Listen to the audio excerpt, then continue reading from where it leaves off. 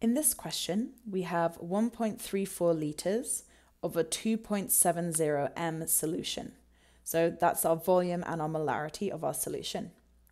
It is then diluted by adding water until the final molarity is 1.91 m.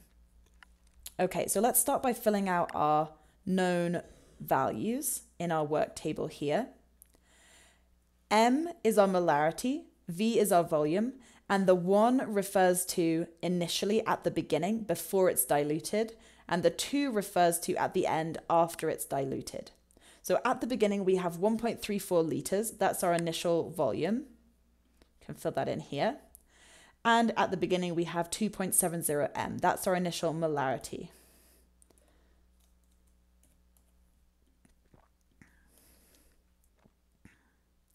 Then the solution is diluted and our final molarity is 1.91 m. So we can fill that in here. So we our unknown variable is V2, the final volume. That's what we're trying to find. So let's head to our reference sheet and look for our dilution equation. Here it is. M1 multiplied by V1 equals M2 multiplied by V2. So let's write that down. We've got M1 multiplied by V1 is equal to M2 multiplied by V2. And before we actually do our calculation, let's just think about what this means. This means the molarity times the volume at the beginning is the same as the molarity times the volume at the end. So what's that telling us is that if our molarity is to increase, our volume is going to have to decrease so that when we multiply them together, we still get the same value. On the other hand, if our molarity were to decrease, that would mean our volume would have to increase so that when we multiply them together, we still get the same value. So whatever our change in molarity is, we expect our change in volume to be in the opposite direction. They're inversely proportional to each other. So in this question, since our molarity decreases, we're expecting our volume to increase. And that makes sense based on the question because it says it's diluted by adding water. So we know our volume must be greater. Okay, we're trying to find V2.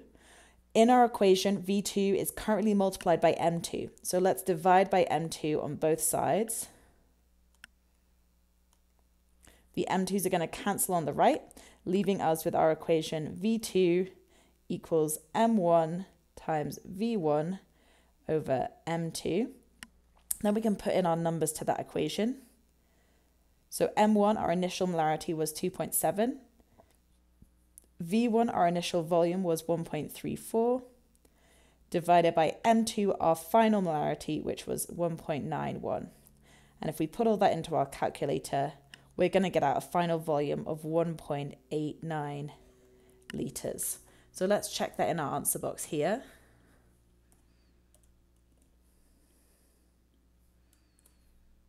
Awesome. So we can fill that in for our final answer as well.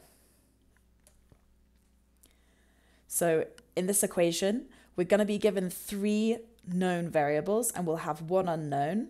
We're using our dilution equation. We need to rearrange it for whichever variable we're trying to find, and then we simply plug in our numbers. And remember, if a molarity is increasing, our volume is going to be decreasing. On the other hand, if our molarity is decreasing, our volume is going to be increasing. So you can use that just to do a sense check to make sure your answer makes sense before you test, test it to see if it's correct.